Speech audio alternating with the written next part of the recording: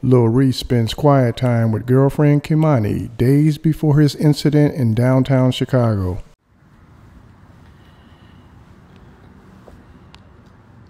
Man, y'all irritated. He said, get off his.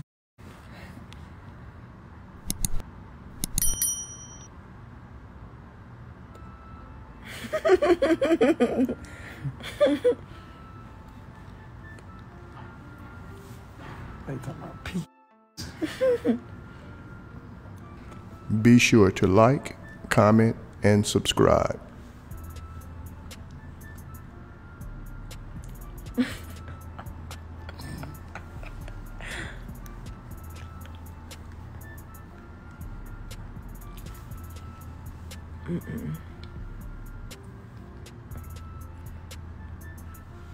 Okay.